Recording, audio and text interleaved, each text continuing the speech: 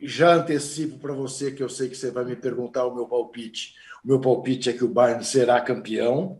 Hum. Acho o Bayern melhor que o PSG, não apenas naquilo que chama mais atenção no jogo coletivo, né? sem depender tanto de individualidades como depende o PSG, mas também porque individualmente, se você comparar, e tirante duas posições, o time do, do o time alemão é melhor que o time francês.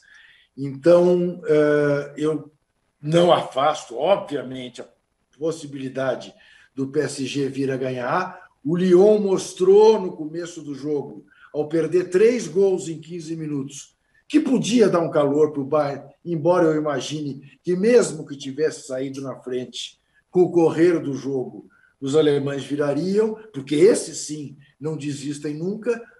Mas estou uh, com muita expectativa para esse jogo e, de fato, agora, pós volta do futebol, lamentando muito, muito que esse jogo seja disputado com estádio vazio porque esse era jogo para 300 mil pessoas no estádio.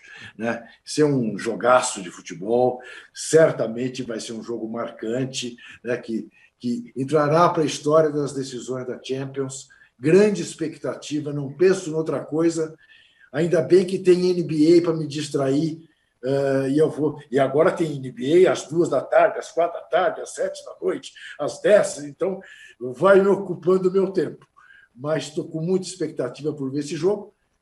E quem sabe seja o jogo que marque definitivamente a entrada do Neymar na vida adulta. E isto não é um elogio, deixar claro.